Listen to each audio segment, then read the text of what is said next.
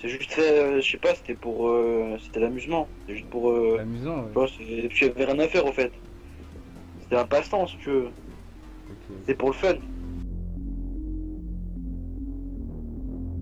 La personne que vous venez d'entendre est un pirate qui se fait appeler Prozox. Avec son acolyte euh, Kuroish, ils viennent de foutre un sacré bordel sur YouTube. Si vous n'avez pas assisté à ça, je vous fais un petit récap. Quels sont les faits? Mardi vers 11h, des vidéos mondialement connues de la plateforme ont été renommées avec des titres de type euh, Hacked by Prozox ou autres phrases plus exotiques. On peut notamment citer Despacito, la vidéo la plus vue de la plateforme qui venait justement de dépasser les 5 milliards de vues, ainsi que des titres de Adele, euh, Vald, Maître Gims, etc. Bref, du très lourd quand même. Alors là, comme prévu, euh, c'était totalement la panique. Tout le monde a crié au hack de YouTube par des cybercriminels surdoués. Euh, les youtubeurs ont tremblé pour l'intégrité de leur chaîne. Ça me paraissait un peu gros quand même. Les équipes de sécurité de Google sont pas connues pour leur incompétence. Du coup, je me suis un petit peu renseigné sur ces deux personnes et comme personne n'avait vraiment d'infos sur ce qui s'est passé, euh, je suis allé directement leur poser la question. Je vais vous expliquer tout ça et vous donner mon avis sur cette affaire. Mais avant, laissez-moi vous présenter Kuroich et Prozox. Le premier de ces deux terribles pirates est de Tarbes, euh, le second de Grenoble. A priori, ils ont plus ou moins 18 ans. Leur passe-temps favori, c'est le deface. Alors le deface, ou euh, défacement en français, mais c'est vraiment très moche, c'est une pratique qui consiste à pirater un site ou un logiciel pour en modifier l'apparence visuelle, euh, du style afficher une phrase ou une genre de signature.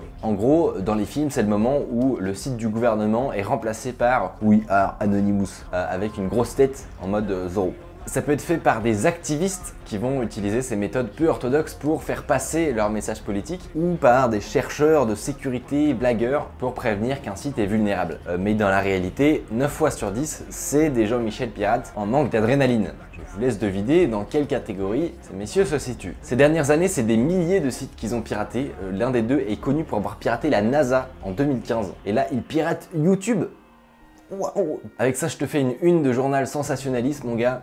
Tu m'en diras des nouvelles. NASA, YouTube, le blog de ta grand-mère, où vont-ils s'arrêter? Bon, vous la sentez venir la chute, hein Désolé pour tous ceux qui voulaient en faire un film, la réalité est quand même vachement moins sexy. Ces mecs, c'est pas des chercheurs en sécurité. Euh, ils sont juste un peu malins, ils ont beaucoup de temps à perdre, mais surtout, ils sont presque aussi naïfs que stupides. Et n'y voyez aucune méchanceté, hein mais je vous jure, c'est presque surprenant. Mais attendez, vous allez comprendre. Bon, d'abord, effectivement, si on va sur leur zone H, il y a un paquet de lignes. Euh, zone H, si vous connaissez pas, c'est un peu les pages jaunes du Deface. Genre, c'est là que tu mets tes trophées de chasse. A même une petite étoile si c'est un site important. On se croirait euh, dans Mario Kart. Un poil flippant, je vous l'accorde. Sur ce point, ce qu'il faut tout de même comprendre, c'est que sur Internet, le nombre de sites est monstrueux. hein. C'est des centaines de millions de serveurs web. S'il arrive qu'on découvre des vulnérabilités sur des sites fréquentés, vous vous doutez bien que euh, elles sont pas très rares avec un volume pareil de machines exposées, loin de là. Donc que ce soit des bonnes grosses failles bien sales ou euh, des trucs qui viennent de sortir, ça a pignon sur rue, comme on dit. Donc en gros, la plupart du temps, voilà à quoi ressemble la soirée d'un mec qui fait du deface euh, son passe-temps favori. D'abord, se rendre sur une base de données de vulnérabilité, piocher un truc rigolo. Après, chercher des serveurs vulnérables à base de recherche Google ou autre scan. Et enfin, trouver de l'inspiration pour ajouter sa meilleure punchline philosophique sur le site. Et ça, de l'inspiration, ils ont l'air d'en avoir. Et souvent, c'est juste un petit hacked by Pro- Prozox avec la petite image manga et la musique d'ambiance qui va bien.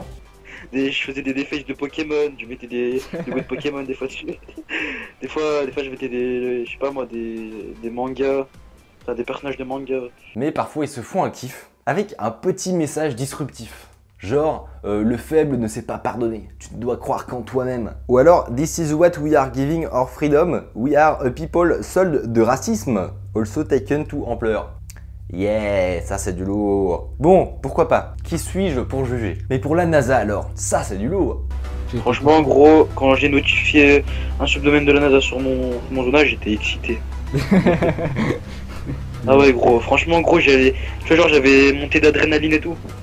En gros, le truc, c'est que la NASA a 12 milliards de sous-domaines, et qui sont souvent totalement dans l'oubli. L'histoire, c'est qu'il y avait un serveur qui traînait dont le noyau du système était un poil ancien. Du coup, il était vulnérable à une faille exposée quelques années après. Loin de moi l'idée de minimiser quoi que ce soit, mais bon, restons calmes. Le truc, c'est qu'à chaque fois, ils avaient beau ne pas modifier grand chose ou juste ajouter une petite page, bah, ils risquent quand même sacrément gros. Euh, de type extradition aux États-Unis et de type un peu beaucoup à la folie de Toll. C'est quand même sacrément con, euh, tout ça pour une petite phrase. Surtout, tu défaces un site. Bon. 10.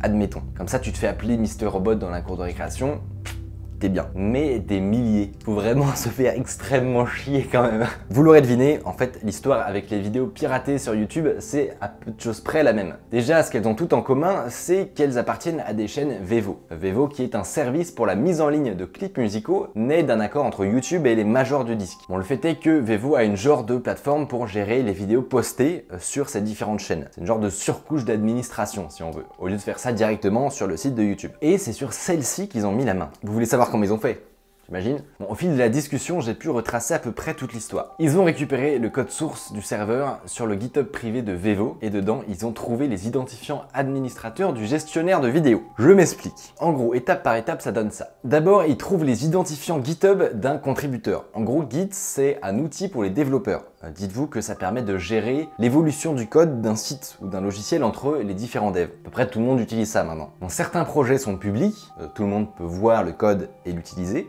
en général dans une boîte, le code de leur outil est privé. Euh, il faut faire partie du projet pour y accéder, bien évidemment. Du coup, comment ils ont chopé le compte? Bah, Le développeur en question réutilisait ses mots de passe. Manque de bol, il était dans une de leurs bases de données. En général, c'est des bases qui ont fuité ou qui datent de piratage de certains gros sites et que tout le monde se partage en gros. Et donc à partir de ce moment-là, ils ont accès au projet privé de Vevo. Dans la partie web, il y avait le code du site, mais aussi celui de l'API d'un sous-domaine, qui apparemment sert à gérer les chaînes Vevo. si vous voyez pas trop ce que c'est, dites-vous que c'est des trucs qui se passent sur le serveur quand les gens chez Vevo utilisaient cet outil. Et là, ils voient quoi? Les identifiants administrateurs, en dur, dans le code.